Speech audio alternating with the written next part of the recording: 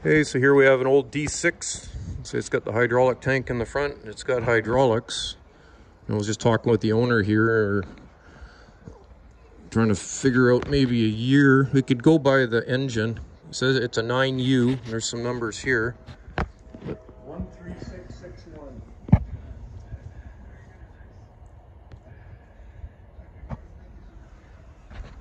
It's got the pony motor. Which I learned something today. These would be before my time that it actually the exhaust goes through the intakes on the head and warms up the big engine with air and the water from the pony motor circulates through the water in the big engine so it actually gets a real nice wake up. Well thought out. So, direct drive clutch johnson bar and all kinds of extras and winch controls steering clutches. And a, a two block brand canopy Probably original paint, not much to say for it, but by the looks of that there, that looks like it survived. D6.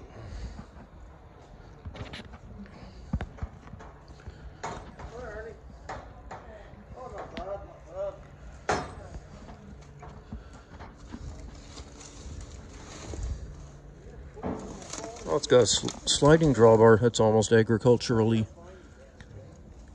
move it around. Probably be handy if it was towing a log arch or something. Give you a little bit more uh, turning radius.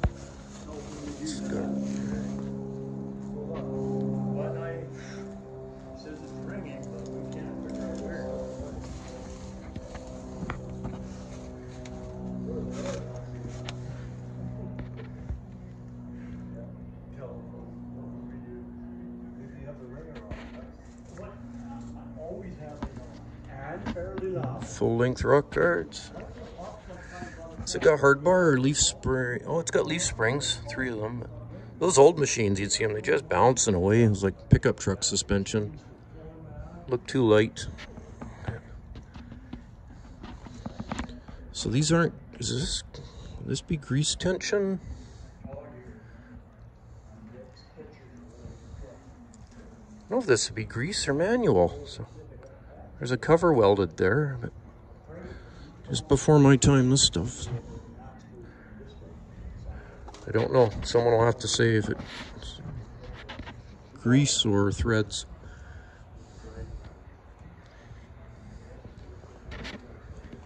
And here's its new engine. Caterpillar.